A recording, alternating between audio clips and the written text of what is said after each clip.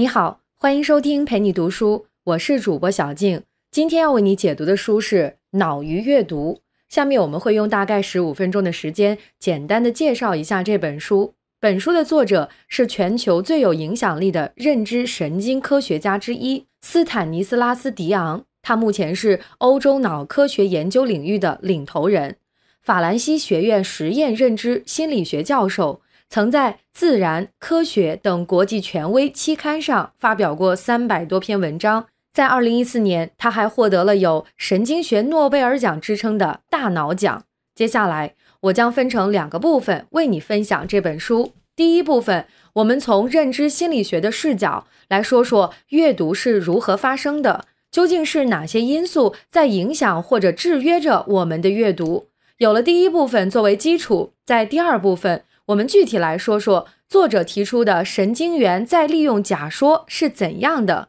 从这个角度来说，人类大脑和阅读行为究竟有着怎样的关系？我们先来看第一个问题：究竟是哪些因素在影响着我们的阅读？这本书告诉我们，影响我们阅读的因素有两个，第一是我们视觉系统，第二则是我们的头脑中的阅读通路。我们一个一个来说。先来看视觉系统是如何影响阅读的。阅读开始于视觉感知，而我们的视网膜并不是一个均衡的感受器。在视网膜中有一个叫做中央凹的区域，只有这个中央凹的中心地带才拥有视网膜中唯一密集的高分辨率的视觉细胞。视网膜的其他区域分辨率就会低很多。这也就意味着中央凹是视网膜中唯一真正可以用来阅读的区域。而这个区域仅仅是角度很窄的一部分，所以我们在阅读的时候需要自动的把文字放在中央凹内来加工。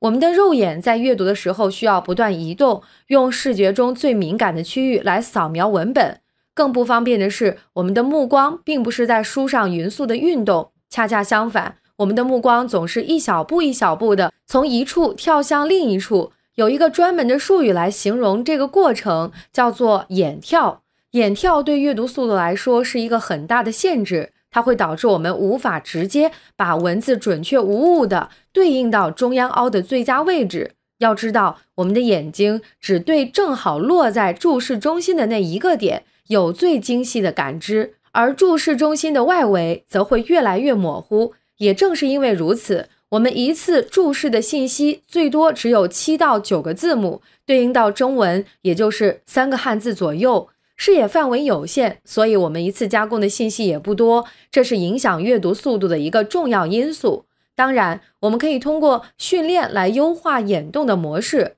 但每分钟阅读四五百个词是我们的生理极限，不会再有什么提高的空间了。视觉系统完成了对文字的扫描，仅仅完成了阅读生理过程的第一步。接下来还有更加重要的一项机制在影响着我们对文字信息的加工，那就是我们头脑中的阅读通路。首先，我想请你先思考一个问题：我们都知道，文字是记录语言的工具，而语言的最基本形式是我们发出的声音。那么你在阅读文字的时候，是会先将文字转化成读音，再理解它的意思，还是可以直接从文字直达语义，完全不需要想它的读音呢？这是一个很有争议的问题。对于这个问题的回答，也决定着我们头脑中的阅读通路，也就是大脑加工文字信息的方式到底是怎样的。这种争议经过了三十多年的讨论，到现在研究者们基本上达成了共识。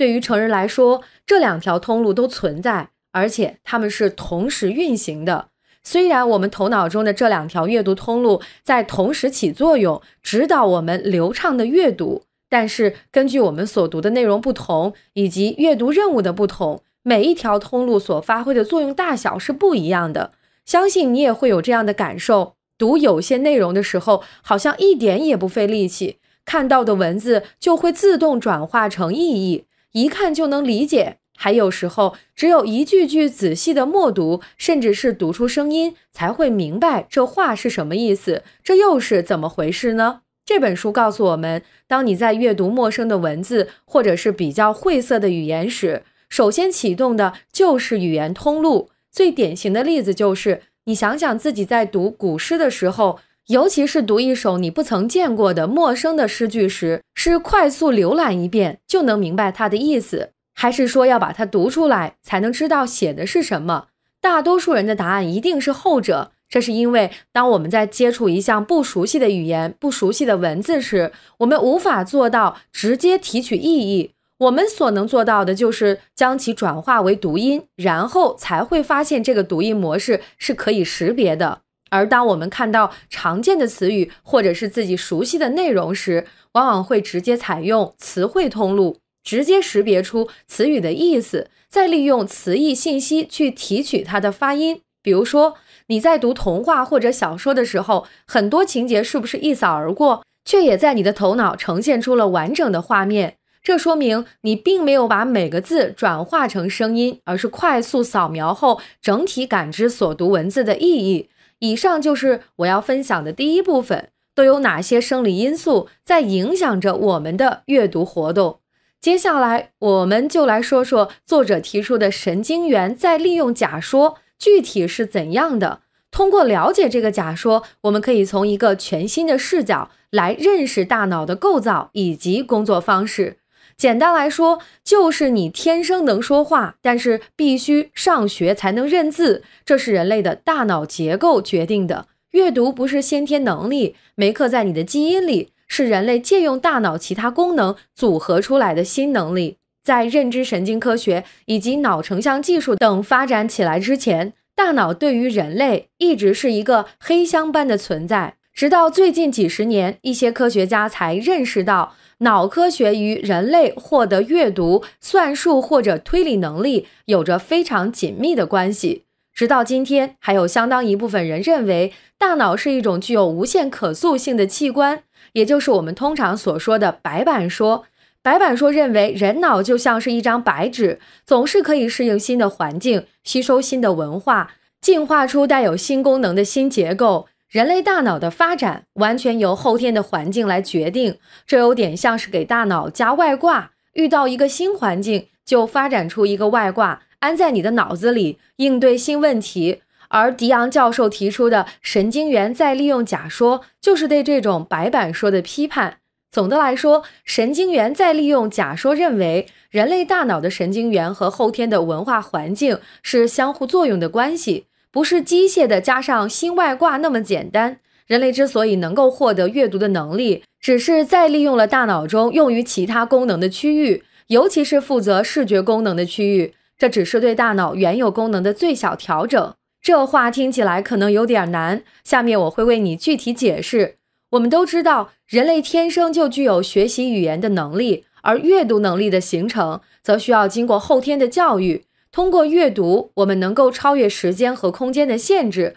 获得其他人的智慧。这无疑是一项非常重要的能力。从整个人类演化的尺度上看，我们大概经历了几百万年的进化史，但是最早的文字也仅仅诞生在五千多年前。在这么短时间里，人们之所以能够学会阅读，逐步形成识别文字符号能力，不是真的受后天影响演化出了一个专门用来阅读的功能区，而是将原来负责其他功能的脑区进行了再利用，来为阅读文字服务。其中最重要的就是我们人类的视觉功能区域。通过后天的阅读教育，人脑把我们与生俱来的可以识别图像形状的功能做了最少量的调整，来适应阅读文字的活动。从这个角度来说，人脑其实是一种能够局部转变用途的精巧装置。我们可以通过观察儿童在学习阅读时，大脑结构会发生怎样的变化，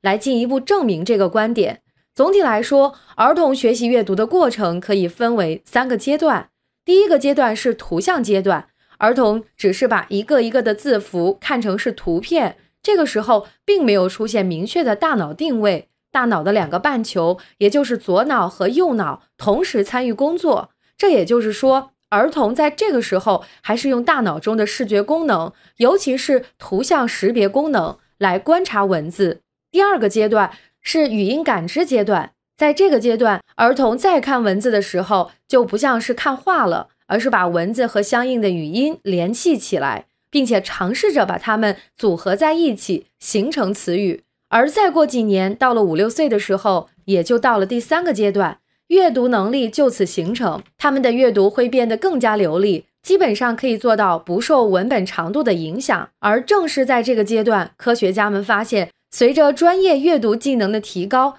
激活的脑区也逐渐变得更加集中，慢慢向左侧枕颞区集中。这个区域就是成人阅读时用来识别词汇、加工文字的地方。随着阅读量的增加，这个区域在青春期的时候才会达到完全激活的状态。这就说明人类的大脑中原本并不存在一套阅读机制，人天生有识别物体的视觉能力，大脑正是对这个区域进行了再利用，从而获得了阅读文字的能力。作者说，有大量的研究表明，正是通过后天的阅读训练，我们才能够更加敏锐地感知到外部的信息。从这个角度来说，正是教育将我们祖先大脑中负责狩猎和采集的功能，转变为加工新文化的能力。教育对于人类文化能力的形成具有非常重要的作用。不但如此，作者还发现，人类识别文字的能力，并不像白板说所认为的那样。会因后天环境影响产生非常大的差异。恰恰相反，人类的文字识别能力具有跨文化的普遍性。作者深入考察了人类文字的诞生发展过程，他发现不同的文字系统都拥有一部分共同的特征。不但如此，这些共同的文字特征都非常符合人脑加工信息的工作特性。在普通人看来，各种文字的形状千差万别，哪里有什么共性可言？但作者告诉我们，不同文化的文字之间真的存在相同的深层结构。比如，迪昂教授说，所有的文字都基于一些比较小的基本形状，像是一个个字母，或是汉字的偏旁部首。这些小的形状按照层级组合，形成了完整的文字。这种层级化的结构，恰好适应了大脑皮质中视觉信息加工的层级结构。不管文字的产生是源于人类的设计，还是源于某种非凡的直觉，最早出现的文字似乎都有意地选择了那些阅读起来最简单的形状。结合上面提到的文字特性，我们基本上可以得出，人类的阅读能力还有文字识别的能力都具有跨文化的普遍性。文字的演化和人脑结构的发展密切相关。两者相辅相成，这也从另一个层面证实了神经元再利用假说提出的观点：人类大脑的神经元和后天的文化环境是相互作用的关系。以上就是脑与阅读的主要内容。感谢关注陪你读书，欢迎点赞分享，同时可以打开旁边的小铃铛，陪你读书的更新会第一时间提醒你。我是主播小静，我们下期再会。